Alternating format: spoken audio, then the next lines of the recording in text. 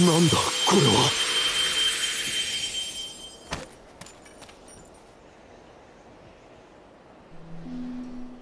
私どうしたのかな？君はジャボーに心を奪われていたんだ。私が心を？戻ったのか？マル本当にお前なんだな？マル！パパ。すまなかった。マル 確かにマルは勇気を奪われていた。でも本当に勇気を失っていたのは私自身だったんだな。オリバー君はそれを教えてくれた。ありがとう。はいソロンさん。私もジャボーと戦うよ。再び一つながりの笛がこの世界に響き渡る日が来ることを信じてな一つながりの笛？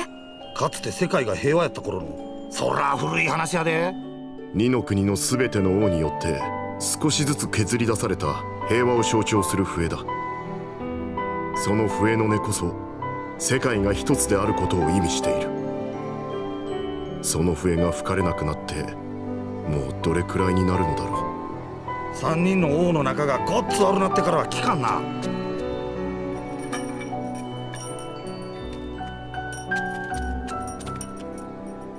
やろうよ。もう一度あの笛の音を鳴らそう。私たちの手で。ああそうだな。マル。私もやってみるよ。オリバーたちと共に。ありがとうございます。ソロンさん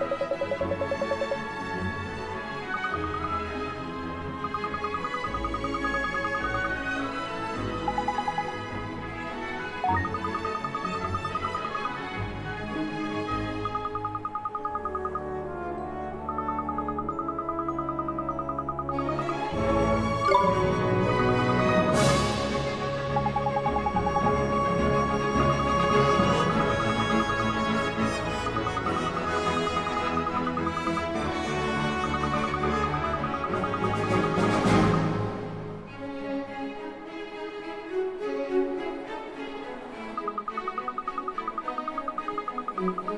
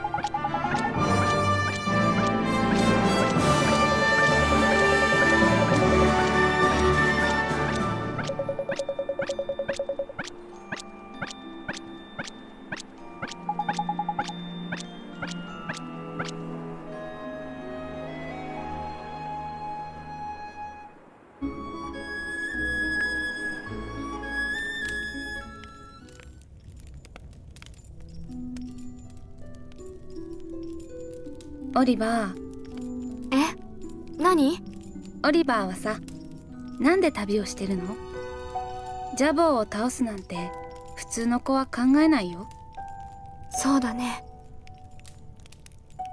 母さんを助けたいんだ。お母さん。うん。僕を助けようとして死んじゃったんだ。でも雫がその原因はこっちの世界にあるって。じゃあお母さんを助けるための旅なんだ。そうだね。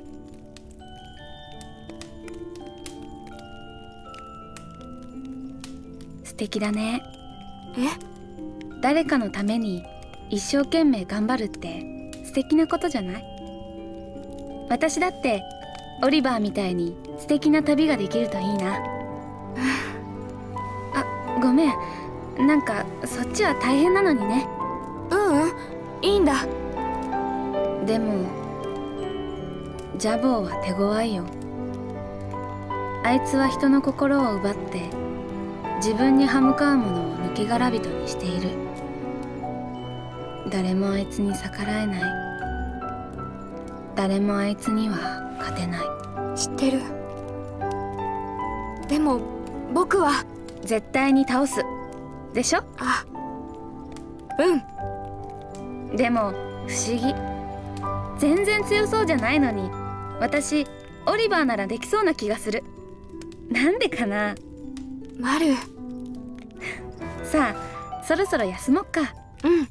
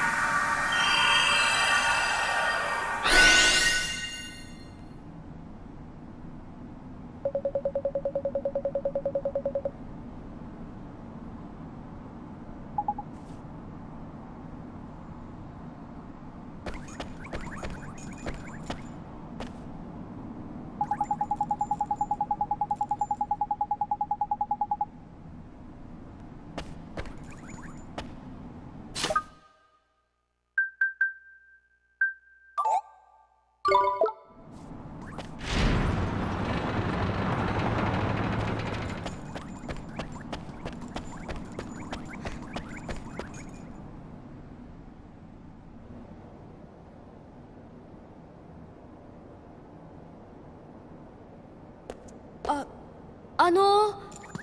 このお方が仙人様か。あの仙人様私たち試練を受けに来ました。